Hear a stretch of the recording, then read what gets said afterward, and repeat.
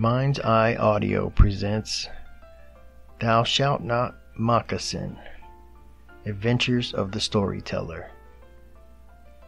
My name's Drew, and I'm the storyteller. There's a Native American proverb that says something about walking a mile in another man's moccasins. What it teaches us is that we shouldn't judge other people because we don't know their story. As much as I'd like to claim innocence in this area, I recently found out that I had a lot of work to do. This is a true story. Partially.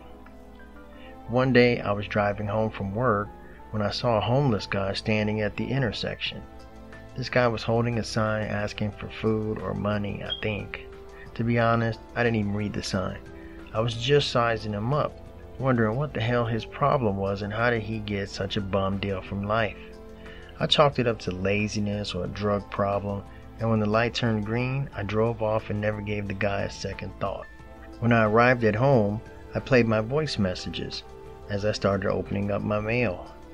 I was reading a letter from my bank that said something about them hoping to receive a government bailout, and I was just about to get a little worried when I was distracted by a voice on my voicemail saying that the plant where I worked was closing. I said to myself, hold on a minute, this has got to be a mistake. After playing the message three more times and making a handful of calls to the plant and to various coworkers, I finally had come to terms with the fact that I was now one of the millions of unemployed Americans. Then I remembered the letter from my bank, and after rereading it, I understood it to say that my bank was bankrupt. I don't know if I was more numb or stunned. What I did know was that I was suddenly very thirsty and I needed a beer. So I jumped in my car and headed to the local watering hole to drink and think. While I drank, I noticed something on the television about a severe weather alert, but the sound was turned down and I wasn't paying all that much attention anyway. After a few too many, I handed the bartender my debit card for my bill, and he handed it back to me saying that it had been declined. I tried to explain to him that I didn't have any cash on me, but I don't think he understood because he threatened to call the cops. I told him to give me a few minutes to go home and get the money. I promised to come right back. I don't think he believed me because halfway home, one of our city's finest pulled behind me and turned on the flashing lights. The officer asked me to stand outside while he took my license and got back into his car to run a check on my name. There was a terrible storm brewing now. It was raining buckets, and I was afraid that the wind was going to blow me over. I was literally holding on to my car when I heard the emergency sirens begin to wail. It was the tornado siren alerting everyone to take cover, but it came just a little too late. The wind picked up speed and I was blown clear across the street and underneath a parked semi truck. From where I lay, I could see the police car lift up and get tossed away.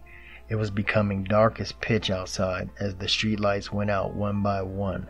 The howling wind was deafening and I could hardly breathe. The combination of too much alcohol and not enough oxygen finally overcame me, causing me to pass out. When I awakened the next morning, I was standing in the middle of what looked like the site of a bomb blast. My car was gone, the street was gone, and most of the buildings were gone. In fact, much of the town was leveled. I began to cry for the terrible loss and for my good fortune at having been spared. In the weeks that followed, my life changed dramatically, to say the least. I was homeless, jobless, and penniless.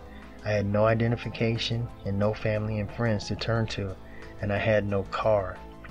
I lived at various shelters and ate at soup kitchens. After about two months, I found myself in a very awkward situation. I was looking into the eyes of a man whom I had never seen before. This man was sitting in his comfortably air conditioned car waiting on the traffic light to change. I'm not exactly sure if the man was looking at me or if he was looking at the sign that I held. I guess I'll never know for sure, but what I do know is that curious expression that was on his face as he seemed to size me up. I wonder if he was asking himself what the hell my problem was, and how did I get such a bum deal from life. Then my alarm clock rang and woke me up from that awful dream. I looked up, winked, and said, Okay, point taken.